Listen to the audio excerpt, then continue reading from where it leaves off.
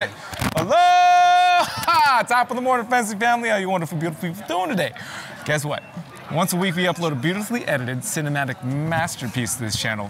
This video is uncut. What are you saying?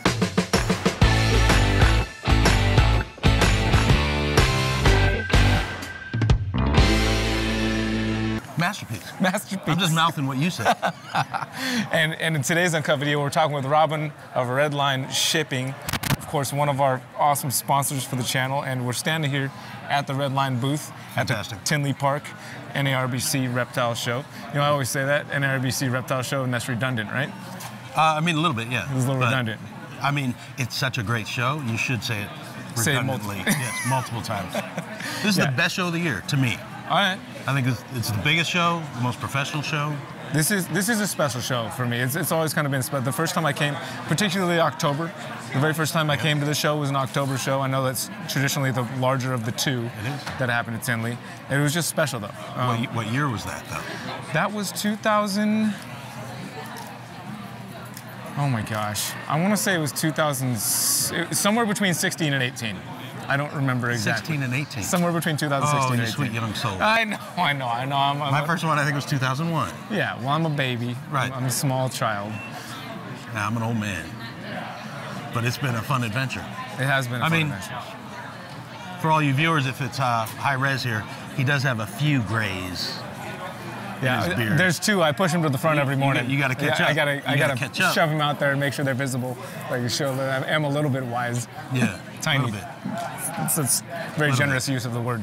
Um, yeah, hopefully the, the sponsorship has been good. You know, I, a notification came across my phone this morning. I, I just thought it was cool. I was going to straight right there in my nose. Hey, people I- using Redline because like- of you. I liked that. That's I liked fantastic. I do too. Yeah, it was just this morning I saw that. I was like, hey, that's, that's good timing. We're about to do this I, video. I spent the morning of Tinley Park here hooking up new accounts in my room.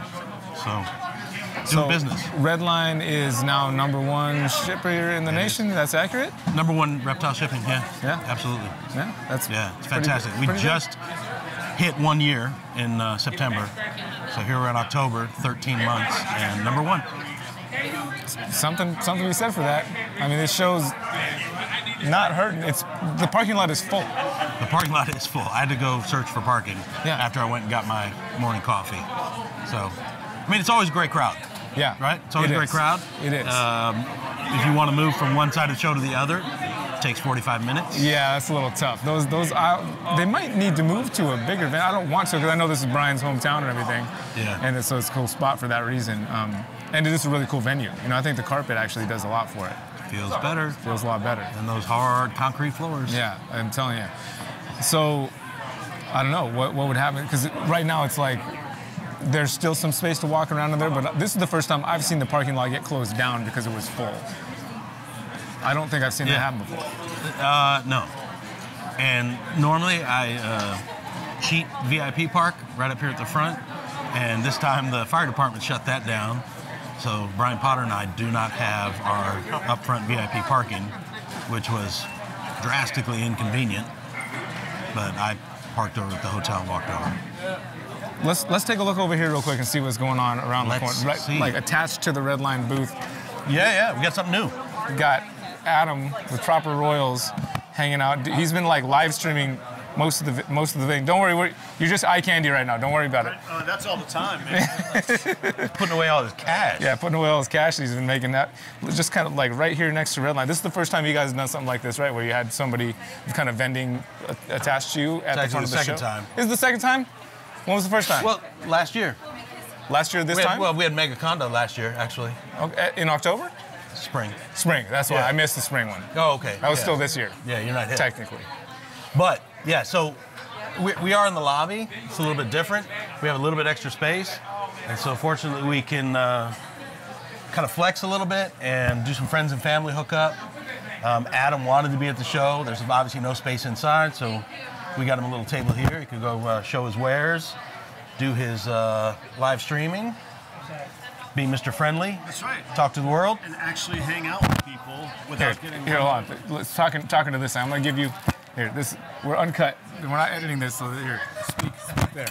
it's nice you can actually hang out here. We could talk. You're not getting run over in the walkway, but there's still traffic. Like if you actually want to talk and check out snakes versus getting run over in the lot in the uh, in the main room, you know, it's pretty cool. How you Nice feeling? place. I'm good. I'm Yeah? good. Yeah, I behaved last night, you know, so uh, big. Saturday is a long day, and then tomorrow we actually get a late morning, which Daytona could use a little, uh, take a little note on that. Have a nice later start on It is. Sunday. It's a nice mellow start. Yeah, yeah, that'll be good.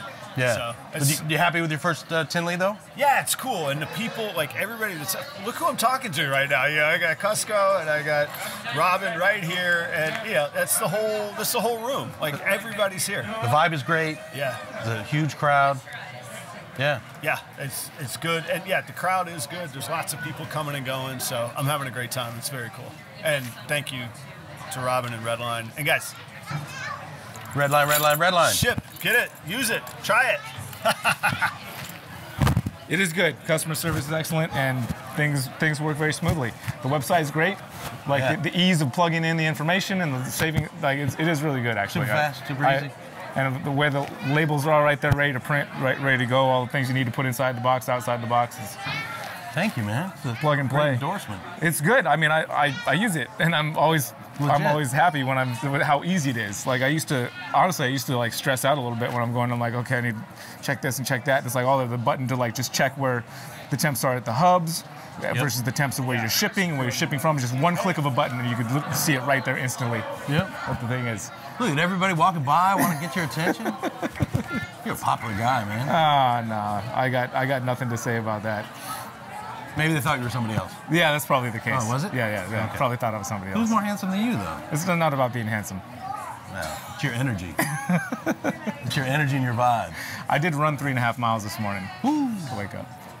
I haven't run in a long time. That was I just say somebody like after you, like no, no, exactly. Yeah, Somebody chasing you? yeah. Somebody was chasing me. It's called. in a Uh, safe place. yeah, my, my my potentially overweight and slow self was chasing me Yeah. out the room Did this you morning. did you tell the audience that we're doing a grappling match next year? You and me. hold on a second now. Hold on.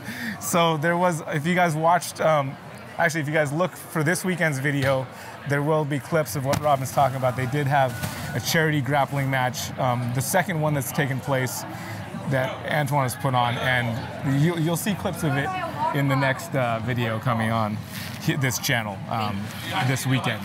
But supposedly, Robin and I are going to do it Just a little submission grappling. next time. The problem is I've got zero uh, official background in wrestling. I mean, I have wrestled with some people, and it was uh, eventful and went fairly well for me.